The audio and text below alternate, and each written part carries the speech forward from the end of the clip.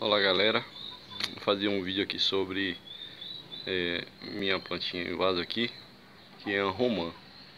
É, vocês estão vendo que, por incrível que pareça, por ela estar plantada em um balde, né, que eu vou daqui a uns 4 meses a 5, é, eu vou transplantar para um vaso também maior, para que ela se desenvolva também muito bem. Mas, para quem quer, tem interesse em plantar frutíferas, é interessante saber que é possível sim você fazer o plantio de uma determinada espécie e ver que ela pode dar frutos. Então vocês estão vendo aqui a razão pela qual eu estou fazendo o vídeo para mostrar para vocês que é possível sim você adquirir uma espécie, uma muda, ou você mesmo fazer uma muda de, um, de, um, de uma frutífera e ter uma fruta no seu quintal, no seu apartamento, na sua casa também que não tenha um quintal muito amplo, mas que você tenha um interesse e tenha boa vontade de plantar, né?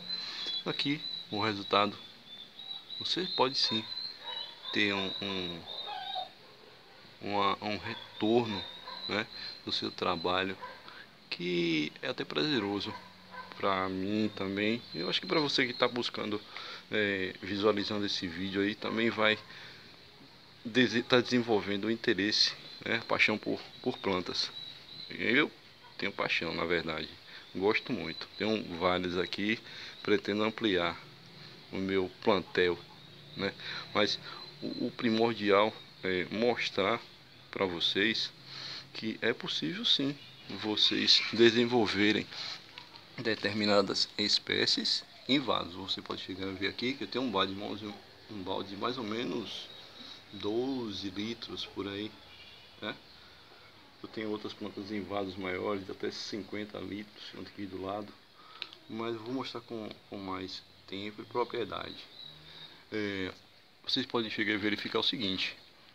É, essa planta, a romã, é, de uma espécie um pouco é, até rústica, porque tem bem maiores, com fruto bem maior do que esse aqui que estou mostrando, certo? É, produtos importados, uma fruta talvez vinda de, de algum país mais é, é, tenha trabalhado a questão da genética. Aqui no Brasil não. É, eu até comprei um vou fazer algumas mudas é, de uma fruta que eu achei em um hipermercado e muito bonita eu vou mostrar para vocês em outro vídeo. Vou fazer as mudas para mostrar para vocês que tamanho é a romã. É enorme. É romã gigante. Mas não é não só basta isso. É, eu acho que independente da espécie você pode chegar e ter é, a satisfação de plantar e colher frutos. Daqui a um tempo vou estar colhendo essa daqui. E vocês estão tá vendo? Talvez essa daqui não não possa até vingar, tá vendo? Pode chegar e verificar. Muito provavelmente essa aqui não vai desenvolver. Dá pra ver logo no início, quem já tem certa experiência, vê que com o tempo a flor não, não desenvolve, não, não fecunda, né?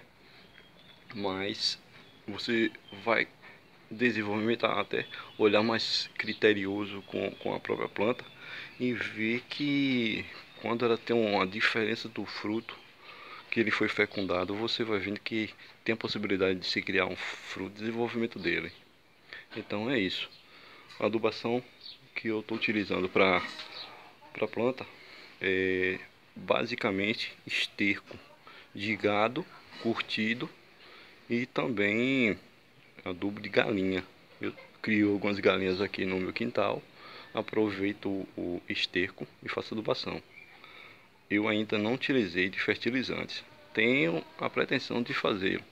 Vou provavelmente é, comprar, verificar a questão da quantidade de, de adubo que eu vou desenvolver em cada planta e ver também os resultados. Aí provavelmente no futuro eu poste os resultados em todas as plantas que eu tenho, para que vocês possam ver o desenvolvimento desde o início até o fim, tá certo?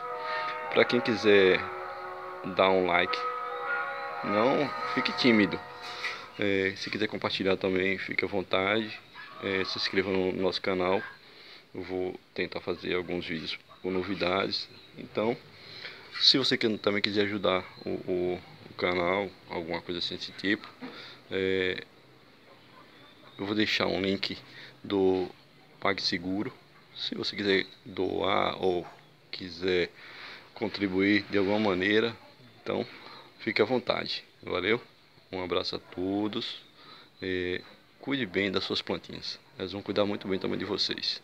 Valeu? Tchau, tchau.